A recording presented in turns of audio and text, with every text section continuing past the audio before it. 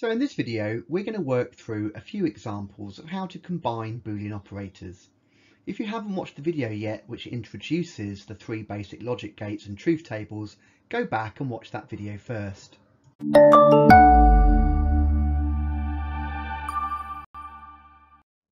So just as a recap, we're showing you here the four logic gate symbols and the associated truth tables you need to know about for the GCSE exam. We've gone over these in more detail in a previous video, so if you've not watched that, go back first. On the left, we see the NOT gate that simply reverses the input. Then we have our AND gate, where both inputs have to be true for the output to be true.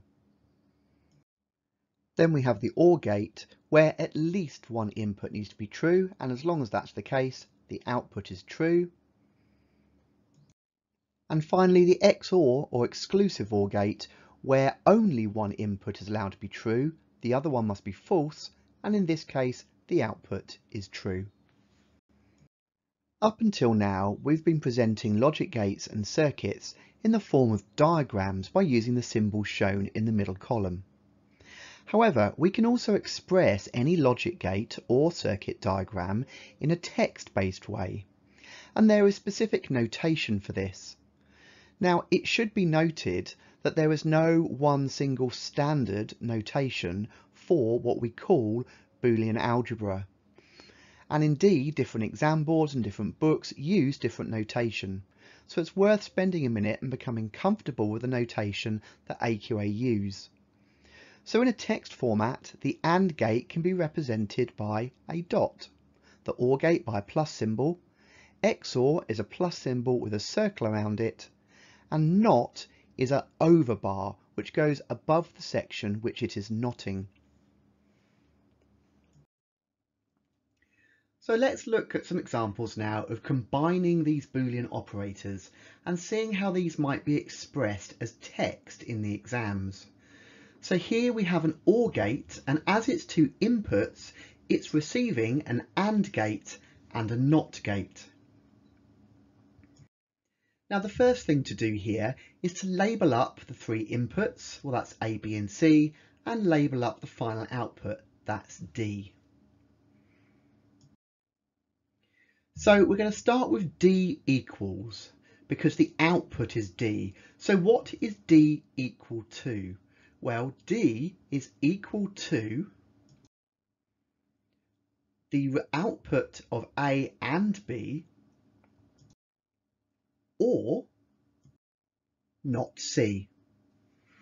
So at the top there, we can see the textual based Boolean expression for the logic diagram on the screen. D equals A and B or not C. Okay, so let's have a look at another one. Here we have three gates in sequence. We have an OR gate, and that's leading into one of the inputs of an AND gate, and that's leading into a NOT gate. Again, we start by labelling up all the inputs and the final output. Our Boolean expression is going to be D is equal to, so the output is equal to not C and the output of A or B.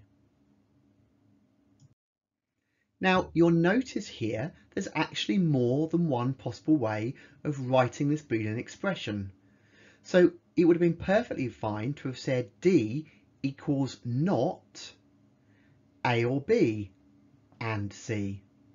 Now at first this can seem a little confusing, like there must be one possible answer. Well, not really. You can think of a Boolean expression just like a maths expression. There's not one way of writing many maths expressions. For example, 3 plus 4 plus 5 is exactly the same as 5 plus 3 plus 4. They're both the same mathematical expression, we've just changed the order of some of the terms. Okay, so we've got one more example here. To see if you've got this, I've labelled up the inputs and the output. Pause the video, get out a scrap of paper and see if you can write out the Boolean expression. So what you should have ended up with here is D equals A XOR B and not C. Now again, it doesn't matter which way round you put the two inputs to the final AND gate. So you could have easily written this as D equals not C and A XOR B.